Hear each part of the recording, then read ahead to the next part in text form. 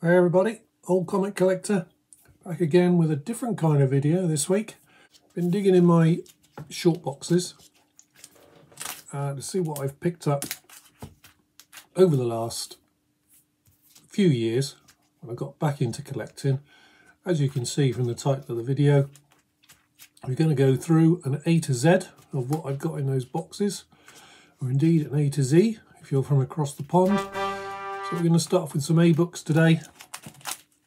Got a pile. Let's see what we got.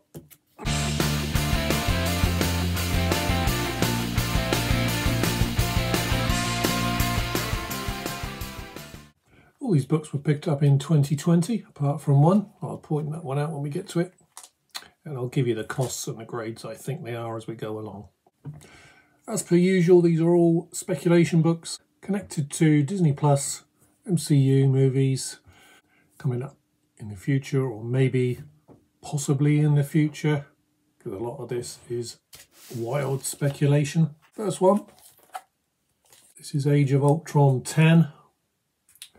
This is the first appearance of Angela in Marvel Comics. Of course, Angela was originally a creation that appeared in Spawn number 9. And on the back of that, I think she was originally created by Neil Gaiman.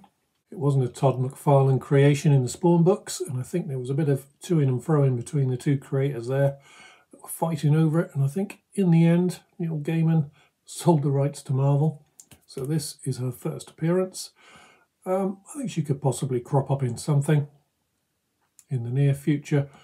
Got this one back in August 2020. Paid £4 for it, so nice cheap pickup. And I think that's around a 9.4. Could be higher. This one hasn't been cleaned or pressed yet by me. Could well be higher than that. Could actually hit a 9.8 if we're lucky. next one. All new Wolverine number one. X23 in her first ongoing series. Again, could be way down the line. She, she could appear in a Marvel related show or movie. Obviously, we've got to have Wolverine introduced first, you would think, before we even got to X23. Yes, we've seen her in, in Logan in the Fox movie, so theoretically, she's already in the MCU. Now we've got everything merging together with the multiverse. Could be a great character for her own show, own series. Pick this one back in June 20, six pounds. And I think that is a easy 9.6, possibly a 9.8. Really sharp looking book. Next one, we've got two of these to show. Alpha Flight number one. I think you may have seen these in some of my other comic book hauls. Got a few of these showing you the two two best ones I think this one's around a 9.4 this one if I'm very lucky could actually hit 9.6 this is a double-sized book. So can suffer from a few ticks but these look okay. Canadian super team created to fight the X-Men. First appearance in X-Men 120 uh, as a cameo then a full appearance in 121 um, but then uh, John Byrne, co-creator with Chris Claremont, kicked off their own ongoing series in a dynamic double-sized issue. Um, even though the, the team first appeared in uh, 121 there are two first appearances in this one, which is Marina and Puck. That's their first appearances. I think Puck is a definite. If Alpha Flight comes to the screen, he'll be coming along and quite possibly Marina if we get Submariner at some point would be good. Got these back in October 20. Paid 30 and 32 pounds for both of these, so not a lot of difference. I say, hopefully a 9.4 and a 9.6, which that one may well push to a 9.8. It'd be great to get that in a 9.8. 32 pounds is nothing for that book in a high grade. See how he goes. Creeping through the A's, Amazing Fantasy, number 15. Not that one, but the 2006 version. Now this is the first appearance of Amadeus Cho, who went on to become a totally awesome Hulk.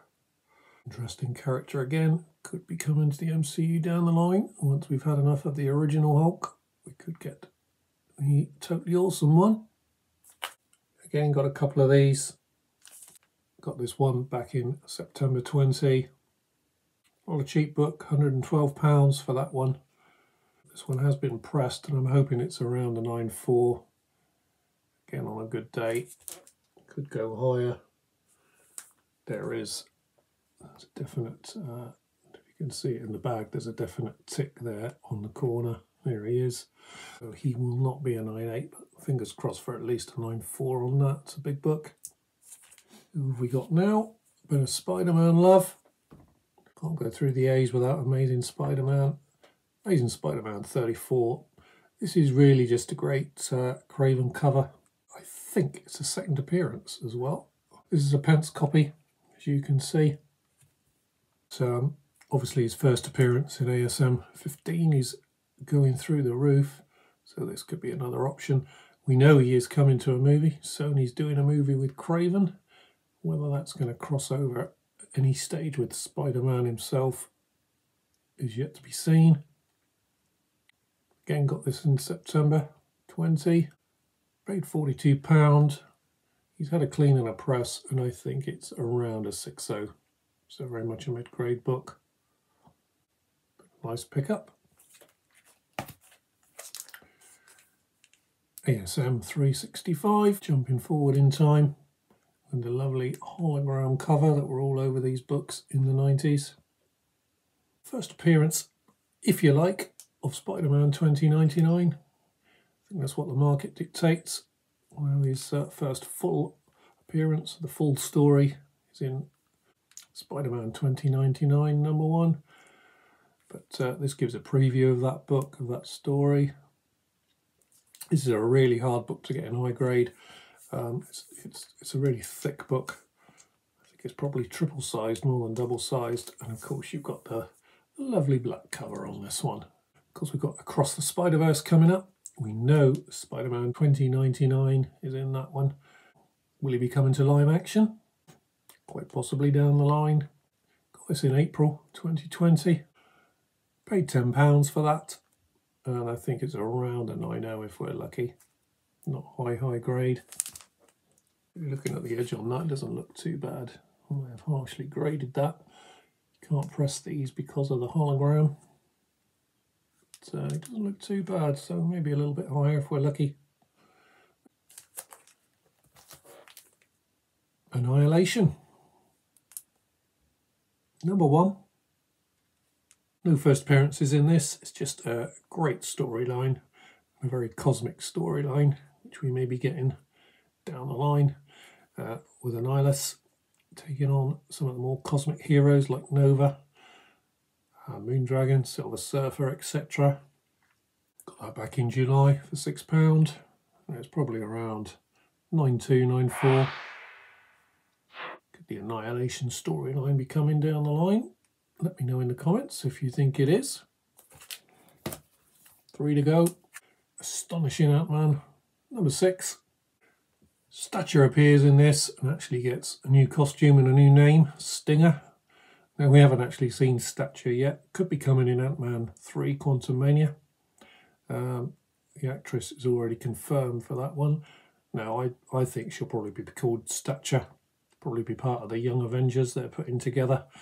So uh, we won't be seeing Stinger anytime soon, but you know, could be, could be down the line. A possible. Got this one in July. 20 for seven pounds and it's at least a 9.4 probably higher than that. 9496, I'd say on that one. Watch out for stature. I love the cover too. Great cover. I do like it when they mix up the uh, trade dress on these covers. Avenging Spider-Man number 9 that's when Carol Danvers became the new Captain Marvel. Well, a huge book, not her first appearance, of course, but uh, she's coming back in the Marvels later down the line. Could be a good book to have.